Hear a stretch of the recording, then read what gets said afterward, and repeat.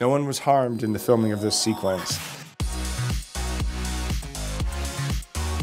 The shit you and your friends do in a pub is what I do and somehow get paid for it.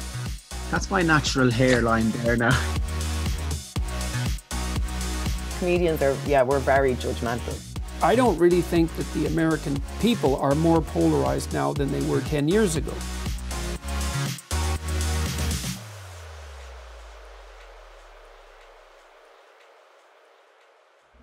You? And welcome to another episode of The Delve.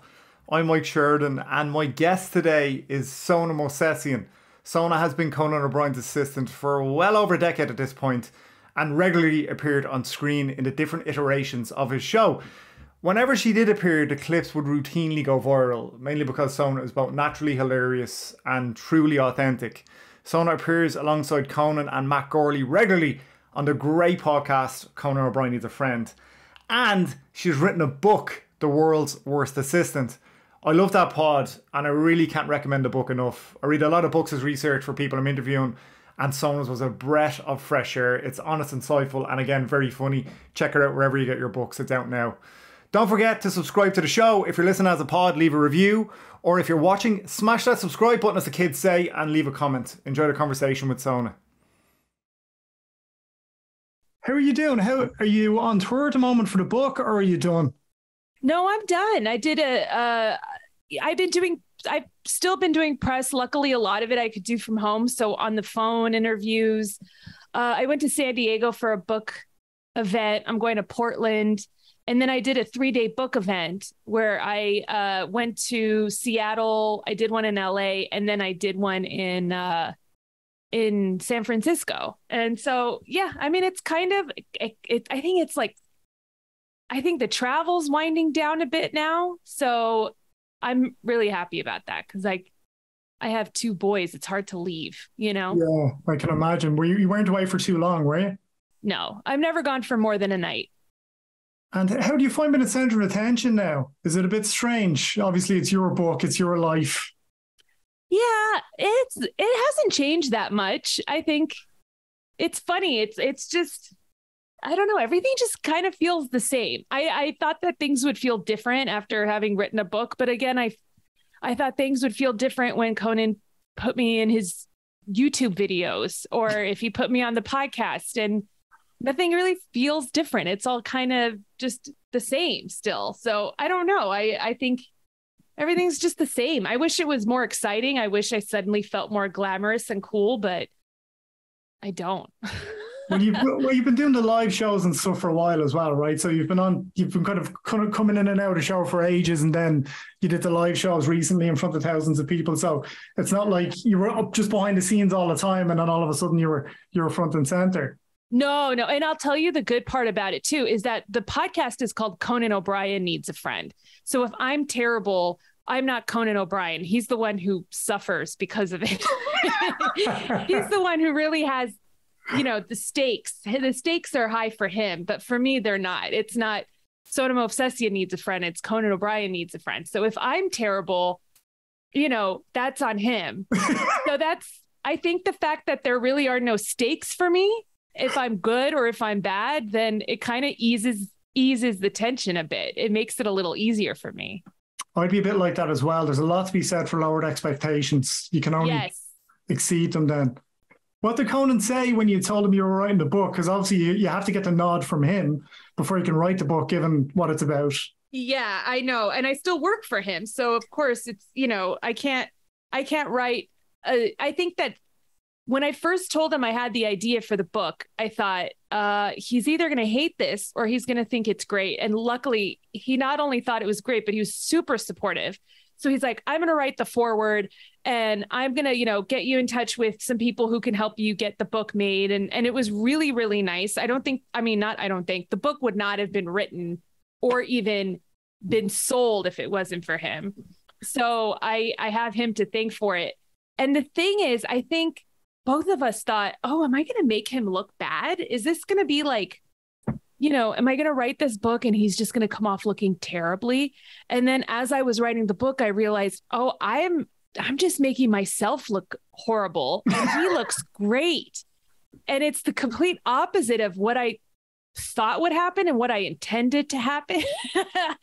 so I think I think that uh you know uh it it definitely what I thought the book would be and what it eventually turned out were completely different. Not that he's a terrible boss, but I thought, oh, if I tell people he makes fun of me so much, then I'll be more sympathetic. But then I wrote about all the things that I do and I realized, no, I'm just I look terrible. I'm just a really bad employee, and he looks great in comparison. Well, I think that's one of the reasons why you know you got to write a book and you're so popular on the podcast as well. I know Andy Richter said this to you too. You just you've come across very authentically. So you come across like almost like not that you don't give a shit, but that you're not phased by any of the fame or anything that might come from, but like you're not seeking it.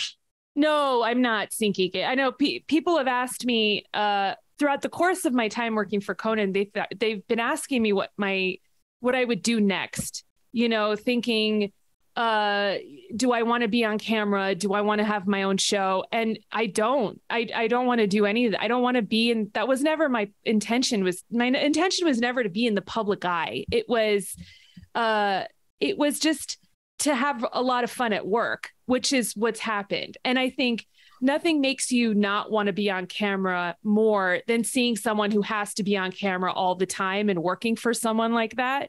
Because the pressure on Conan was always just so much. And I think you have to just be built differently. And he's he's built a very specific way. He's such a workhorse. And I don't know if it's an Irish thing, but you know, it's he just constantly has to keep working and he constantly has to just keep doing things and and I'm not like that. I'm happy to just sit and do nothing for weeks. Um, so I I think that uh I think that comes across across is that you know as fun as this is, I, I don't need it. It's fun, but it it's not like it's what I had wanted. I'm not. I don't. I don't want to be an actress. I don't want to be a comedian. So I I hope what comes off is is that I'm genuinely just having fun because that really is what I feel.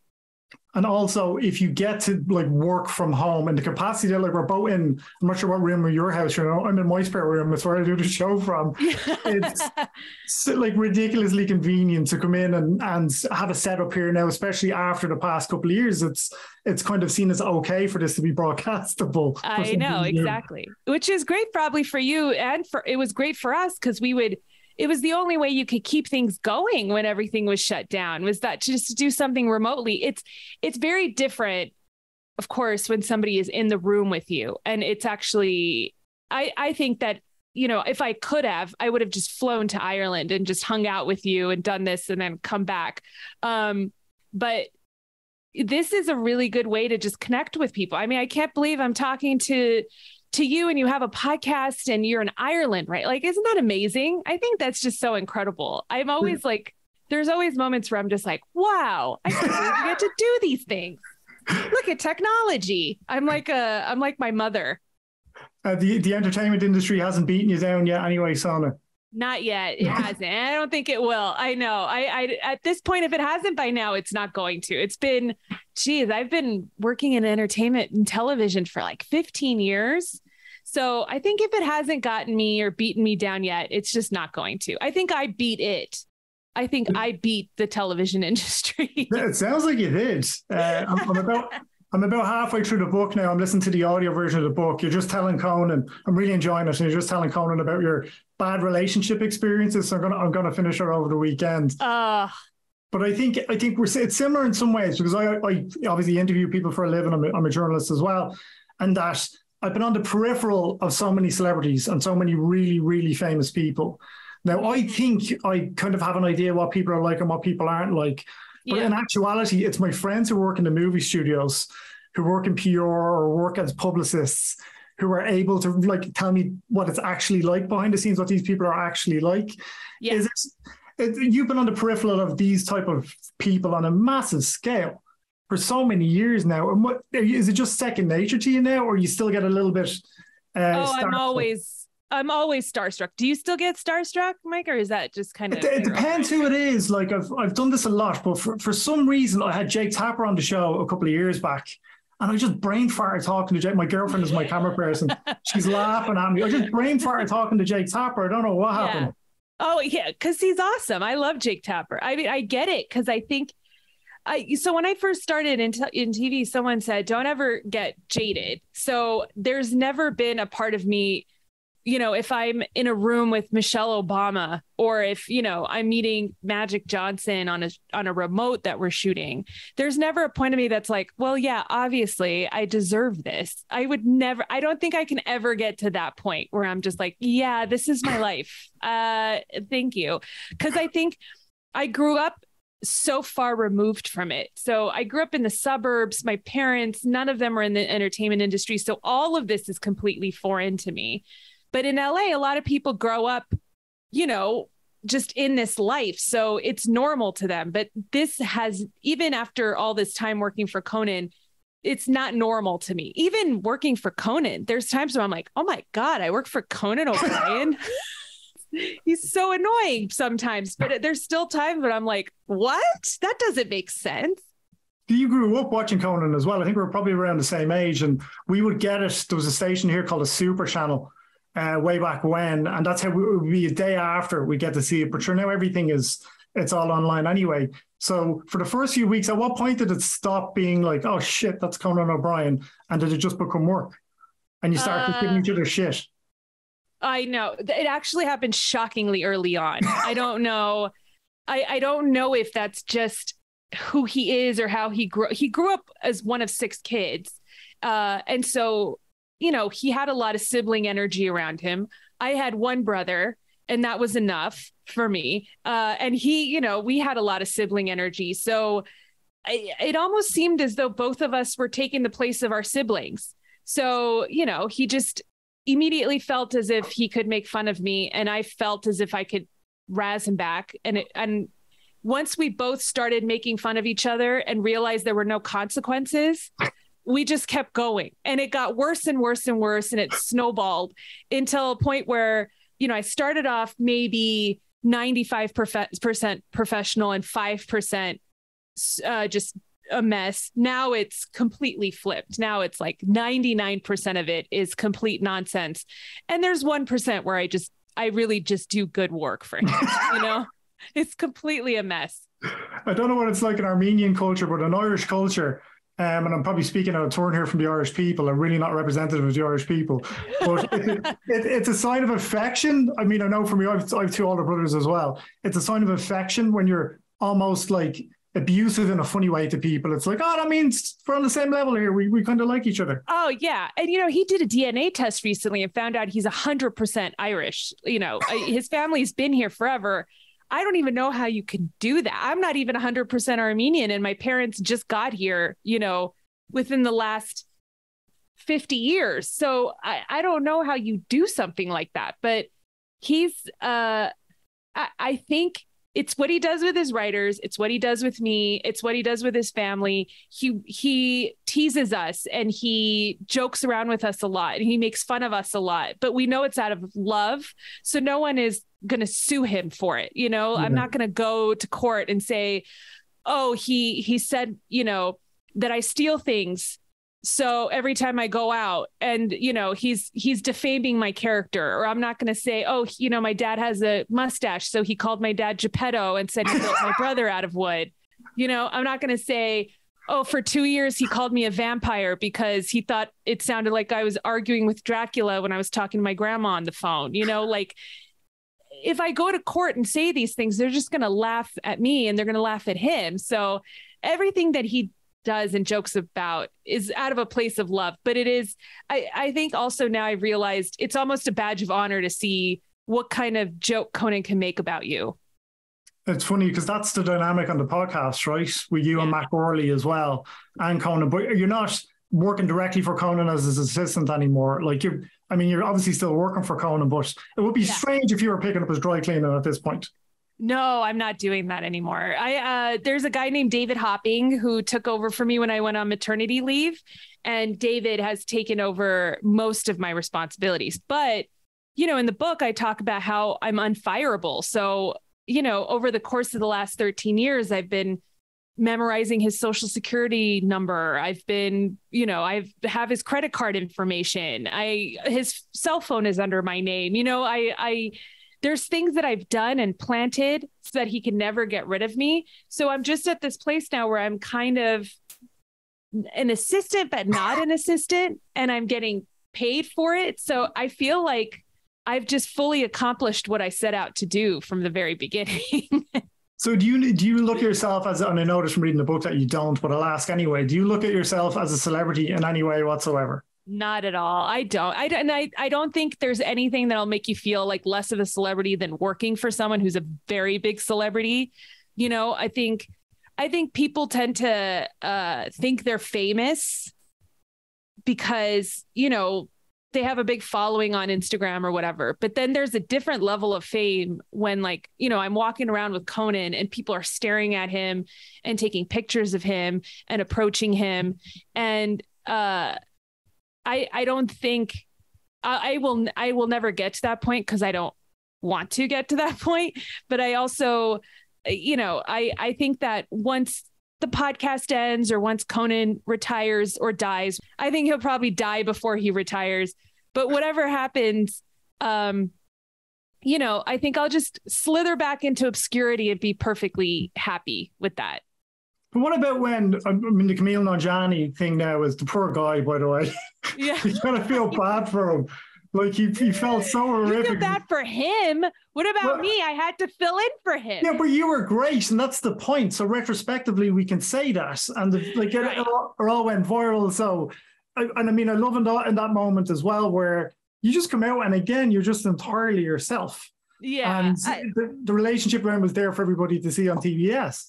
That might be what people are respond to what are people are interested in is there's no polish to me. I'm, I'm not saying that in a way to tear myself down. I'm not a very polished person. So you know i come out and i just kind of talk like i normally do because i don't know how to be anything else. I don't know you know even if there are cameras there i don't know uh, how to switch my persona. So i just am I, like this is the only way I really know how to be. It really is like if on the podcast we always joke that the way Conan and I talk to each other is exactly how we talk to each other off mic and it's just like they just put microphones in front of us. that's that's the only difference. So yeah, so not only am I do I not have the ability to change and not be who I am, but also Conan is makes me feel very comfortable to just be myself. So I, I owe it to him too that, you know, I didn't have to create some sort of persona or anything to just transform into when the cameras were rolling. So, how does somebody, sound who procrastinates so much, write a book? I don't even know. I mean, people are asking me if I'm going to write a second book, and I'm like, no, it's so much work. It's so much work. I, you know, I, I remember reading my contract, and it was like sixty thousand words, and I'm like, I've never written. I don't think I've written sixty thousand words in my life. How am I going to write that much? You know, in this time frame that they've given and, and i had kids and i was like i don't know what to do so what i thought my my whole process at that point was just put stuff on paper it's not going to be good just get it down on paper and then you could fix it afterwards which is what i did and there's still a lot of like mistakes and stuff that i've noticed in my book uh, things that i've written that i kind of kept in there and i missed uh, when i was editing it. Um, but that was it. But it was so it was the most challenging thing i think i've ever done. Because you're right because i'm at my at at heart i'm just a procrastinator. But if i have a deadline then i'm like i guess i have to. It's how i graduated college. It was just i knew i had to finish an assignment by a certain point so i just waited as long as i could and then was like okay i can't push it off anymore i guess i got to do this if i need to graduate so yeah that's but it was hard i don't think i'll ever do it again So, but did, at any point, did you enjoy it? Like, I know because you went back and you get journals from 2010, 2011, uh, which obviously helped. They helped shape chapters. yeah But did you enjoy the process at all? Where you're like, just need to get over this finish line. This just needs to be done. I did. You know what's funny though is also I I don't have a memory of anything that happened. As soon as like I can't tell you what we recorded yesterday on the podcast. That's like as soon as I'm done, the headphones come off and it's almost like as I'm taking off the headphones, the memory of everything I just talked about just goes with the headphones. I don't have an idea of anything. So it was really fun for me to go through. One of my things that I did was I went through all my old uh, emails. Uh, you know, every year that I had worked for him, I had them sectioned off year by year. So I would go through all of them and figure out the big things that happened. And I was like, oh, I could write something about that. I remember that. So when something triggers my memory, it's fun to write about it. So it was just, I guess the fun part was just remembering my job and what I've done for 13 years. Where did the human centipede analogy come from? Because that's oh. when it's early on in the book and it blew my mind because it was quite visual. It is incredibly visual. I I had a diagram in there at at first, Mike, and I'm I had to take it out because it was a little too much. Uh, it's incredible. Have you seen the movie?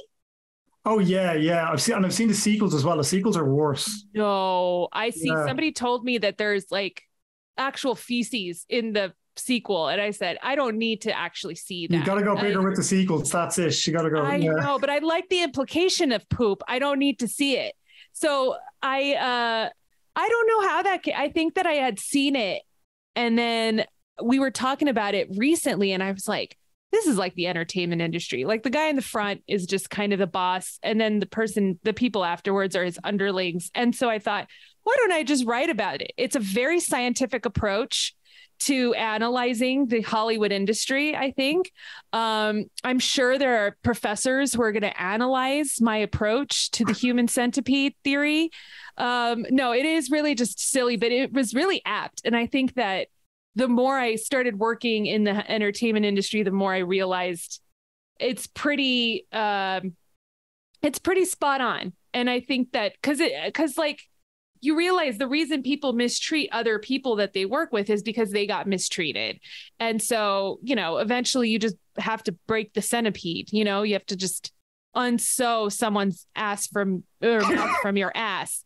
And uh you have to like rip those stitches off. And so it was, you know, it, is it I I really I, I don't want to say I'm proud of that section, but I think that the more I think about it, the more the more true it is. But it is just a very disgusting an, an, uh, analogy. It's really Yeah. gross. But you're underlining the point that like there's so many things in popular culture and movies and TV about assistants having horrible bosses in the entertainment industry, and Yeah. I'm sure it's true of the entertainment industry as well. So the fact that you have a boss you get on very well with, you know, he's got Mhm. father to your kids and stuff like. You, it, it sticks in people's mind, and I think it helps it stick in people's mind. I hope so. I really do. I, I hope people learn from it. um, I thought I wanted something that wasn't anecdotal, that kind of tried to talk about why my relationship with Conan is is different than a lot of bosses have with their assistants. And I think a big part of it is because he's just a really good guy. I think that he just came from a really good family. Um, and he, when he goes home after the show, he goes home to his wife and kids, and they're all very normal, very good people. And I think because he's stayed humble, he's good to the people who work for him. So, um, yeah, I mean, it's, I, I think I just got lucky like that.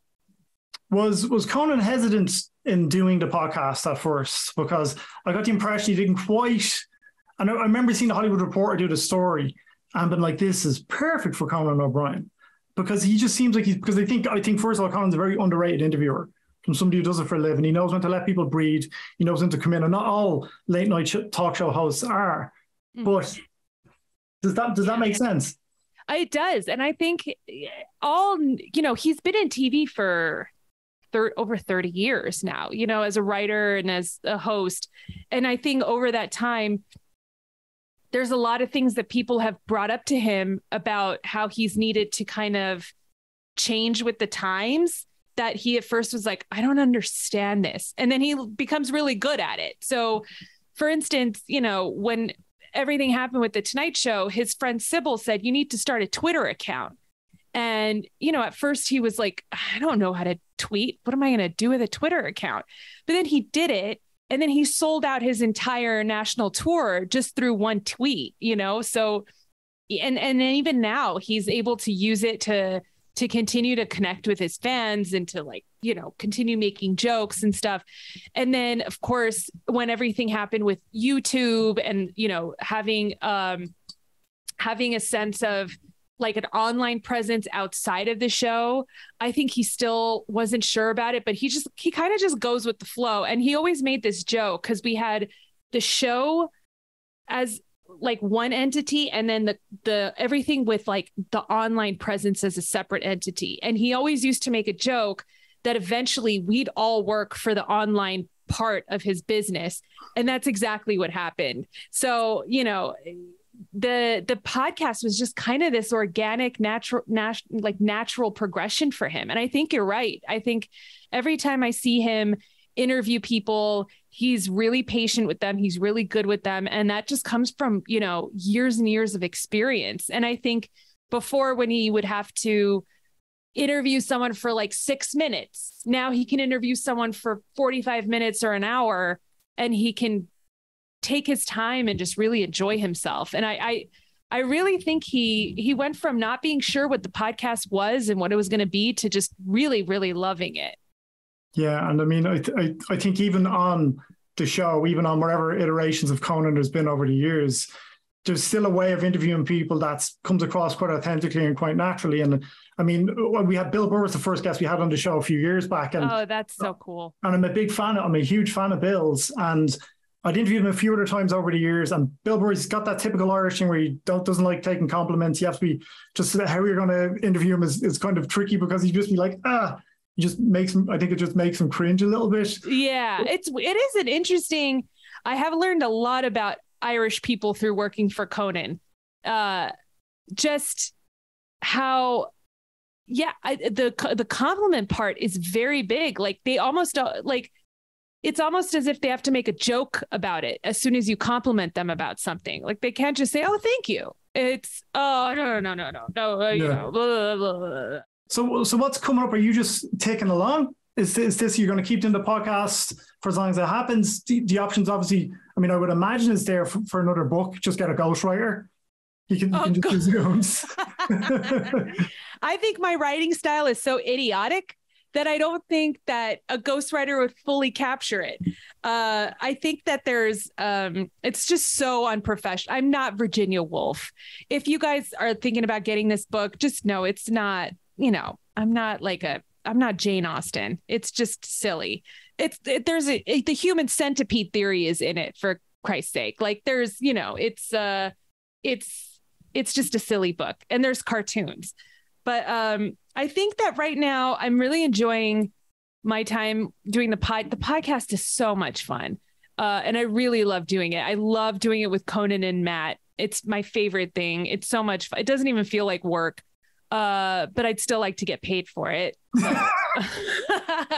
I'm not going to say that, but it is really, really fun. Uh, and you know, the book was a really, uh, this was a new experience. I never thought in my life that I would ever write a book mainly because it's just so much work and I know myself. So I I never thought about it, but I think ever since I started working in TV, my approach has always been if something comes along and it sounds cool, I'll just try it out and see what happens. So, you know, that's that's what I continue to do. I think it's what I'm always going to do. And again, until I'm just going to ride Conan's coattails until he dies. Uh, and that's pretty much it. Just, you know, suck off the Conan teat forever. uh, so when are you guys going to come to Dublin and do a uh, do a live show in Dublin? Oh, I would love to come to Dublin. The podcast is really popular. I said I've seen the email. The podcast is really popular here. I'm surprised. I I don't know why I'm surprised, but uh, you know he's also he's been on the Late Late Show there, and and he's got a, a good rapport with Ryan Tubridy. I, I hope I'm not mispronouncing that, but yeah, he's you know uh, I think Conan loves going to Ireland. I every time he goes there, you could tell he feels like he's at home. He doesn't belong in Los Angeles. Let's be real. It's sunny here. You know, there's there's palm trees everywhere. It's you know, he just he belongs in Ireland with his people.